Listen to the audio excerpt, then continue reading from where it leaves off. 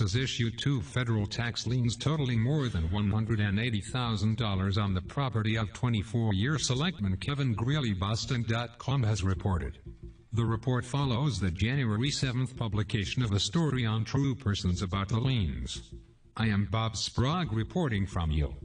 You are Arlington. I am Martha Batten. Yes, in these economic times, some people cannot pay their taxes. There but for fortune. It is a sad day when someone anonymously reports people to the Boston Globe for serious financial problems. That is, for me, the more compelling part of this report. I am Mark Kipline.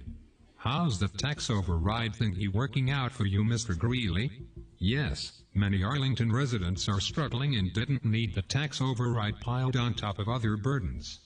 The internet and public records are a wonderful thing where you, or Zillow or real estate agents, can look up property transactions, mortgages, liens etc. Anybody could have alerted the Globe that Lawrence Mayor Willie Lantigua's $5,450 owed in state taxes was a minor story compared to our chairman of the Board of Selectmen owing $180,000. What's really interesting is when you compare property tax valuations with purchase prices and try to understand why housing corporations, apartment buildings, chairmen of assessment boards, and others have assessments about half of what they actually paid for properties, something not all residents get.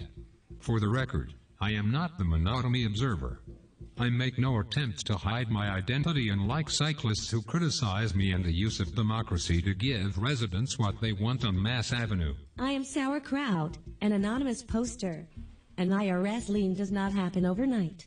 An unpaid taxes for $180,000 does not happen over the course of just a few years. The liens are not a mere matter of some people cannot pay their taxes, something which applies only to some unfortunates who cannot pay one year's taxes due to misfortune. I've worked a few tax cases, none of which reached $180,000 over less than six to eight years. Frankly, any elected official who does not pay his or her taxes to that extent ought to resign. Now, A brave declaration. Who are you? I am Bob Sprague. I am Martha Batten. Yes, no doubt, financial troubles rarely happen overnight. This financial recession is almost five years old. I cannot tell you how many people I know who are in deep debt. I do not judge people on that basis alone. I am Corey Gaffney. Yes, Martha. My first thought was back three years ago, when Kevin Greeley organized a massive concert at Town Hall to help bridge the gap for the Arlington Public Schools. Let us not be so quick to judge someone on their personal matters. Thank you, Corey. I am Sauerkraut, an anonymous poster. I say this to Bob Sprague. None of your beeswax. If you won't stand behind your public opinion about a public official with your real name, why should anyone take you seriously? Are you joining the anonymous campaign targeting Mr. Greeley? I am Bob Sprague. See the updated story at Yo. You are Arlington. I am Martha Batten. I think those that remain anonymous do not want to live in glass houses. Better for throwing stones. I am Joe Tully. I guess it's a matter of perspective. I'd prefer that everyone identify themselves, but I'm not going to obsess about it.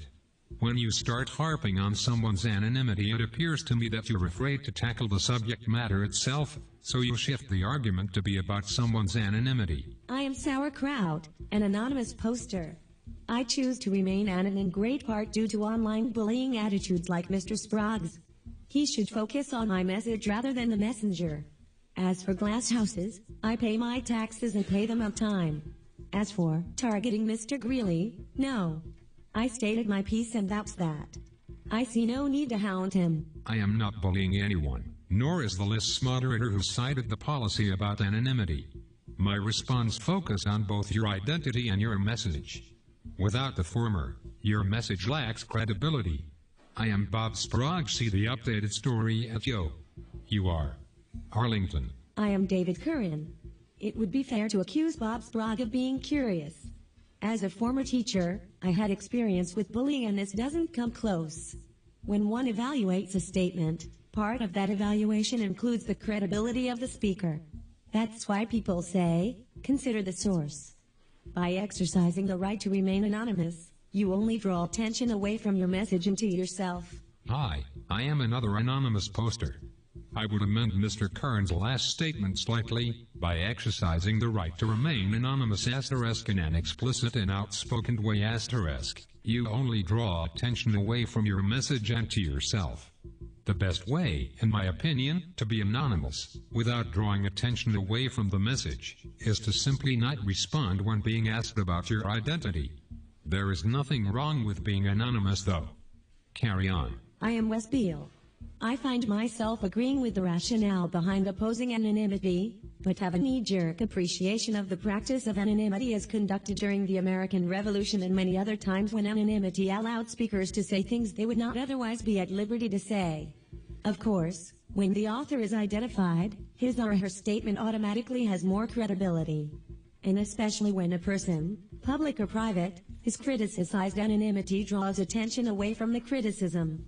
Here, I believe, sauerkraut's anonymity comes from spite at being asked as much as anything else, and believe that with a little research I could identify the speaker.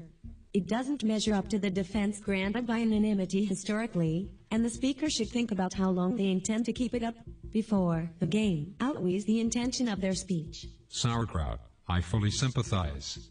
Bob is asterisk such asterisk bully, asking pesky questions like, Who are you? What is the source of your info? And other questions of fact. Facts really get in the way of our most important story themes, like It's Morning in America and Mission Accomplished. To paraphrase Al Gore, facts really do present us with inconvenient truths. I'd love to be reassured that climate change is a hoax that I don't have to worry about, but I find such reassurance hard to find, coming from Exxon. People asterisk always asterisk want to know asterisk who asterisk is saying something. Worse, absent accurate information, they tend to make inferences. For instance, knowing only your online handle, im sauerkraut, I'd infer that you're a German with a sour disposition. Perhaps you have a somewhat special brother or cousin, em kimchi. As for your paying your taxes on time, I'd like to verify that. Could you tell me who you are so that I can? Also, your address, so I can tell whether you live in a glass house,